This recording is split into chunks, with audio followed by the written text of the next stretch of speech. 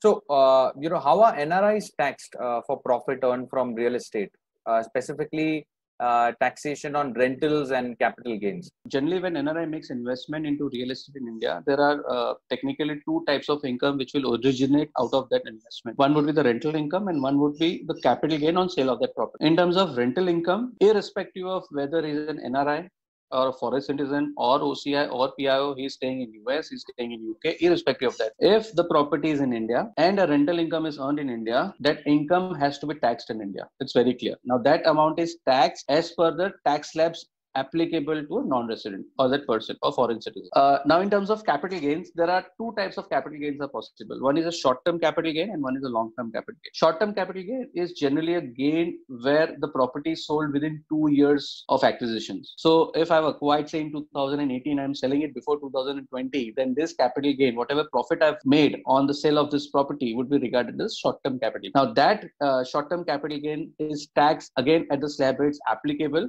to the non-resident Indians. In terms of long-term capital gain, which is technically property sold, uh, you know, after two years they're uh, acquiring. So, example, I've acquired a property in 2015. I'm selling it in 2020. So, my holding period is five years, which is greater than two years or 24 months. That gain will be regarded as long-term capital gains and long-term capital gain is taxed at the rate of 20%.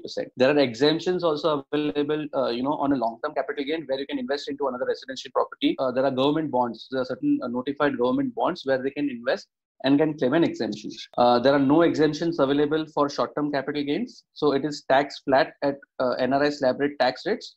But for long-term capital gains, there are exemptions also available. And how much would those slabs be for NRIs? Uh, so suppose NRI is an individual. So that individual, whatever individual taxes are applicable to us, like 5%, 10, uh, up to 2 lakh 50 no tax, 2 lakh 50 to 5 lakhs 5%. So the same slabs would be applicable to them.